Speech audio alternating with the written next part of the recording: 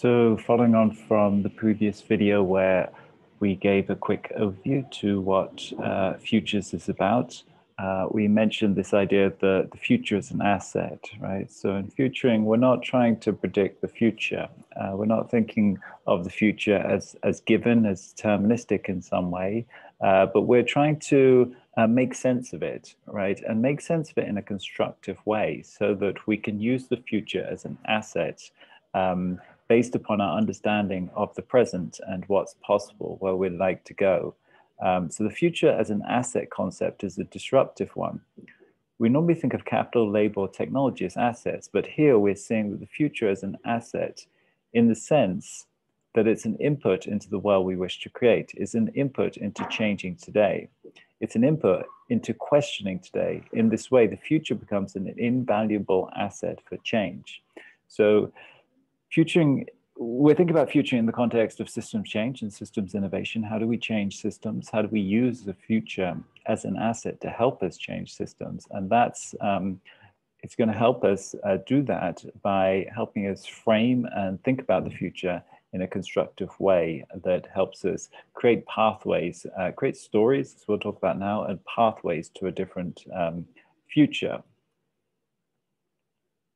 So it's an asset in that sense, and we're trying to leverage it um, by using futures. So if the future is an asset, then how do we turn that asset into a tangible resource for change in the present? The answer lies in the creation of stories.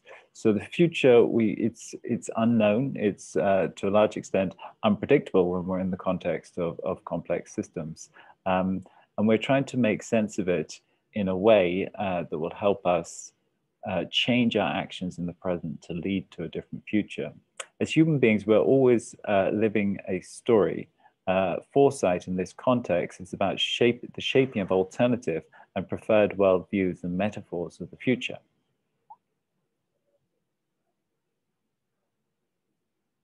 Stories for change are stories about the future and the way it could be. Thus, futuring and future scenarios form a key part of story, storytelling. Um, so they're kind of the basis of um, how we're going to construct our, our, stories about the future and thus what pathways we're going to follow, the actions we're going to take in the present. Our future is made up of the stories we tell today. Thus, we can change our future by simply telling different stories. If we want to change the system, create a different world, we're going to have to have a coherent story about the new possibilities. And this is what futuring um, and scenario building, building scenarios about the future um, can form the basis of those constructive stories. So in this sense, um, it's, it's very much a reflexive process. Um, the central idea is that instead of being subjects and slaves to an objective and given future reality, we're trying to use the future to create a vision and then going through a process to make that um, a reality. So as mentioned, a lot of what we normally try and do is predict the future and plan for it. Um, and that's really assuming that there is one future and that it's given and deterministic already the whole value of futures is that um, we are open to the idea that there are different futures and um, that we can create that future uh, by telling different stories in the present. And that's very much a reflexive process uh, if you think about it.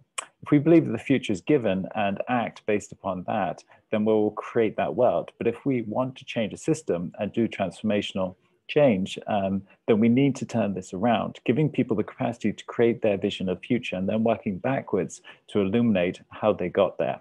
The very act of doing this uh, gets people involved in the change process. So this is how we're using the future as an asset. We're using future as a way to change systems, to change actions in the present that will lead to a different um, future. And that is very much a reflexive uh, process.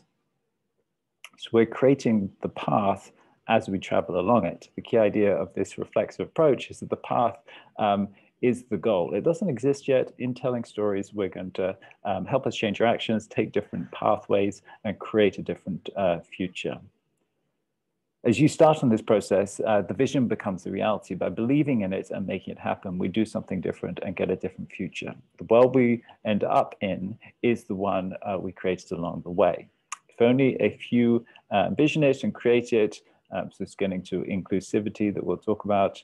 Um, we obviously need to uh, engage a, a wide uh, group of people in the creation of this future. Otherwise, it will just be uh, for the few.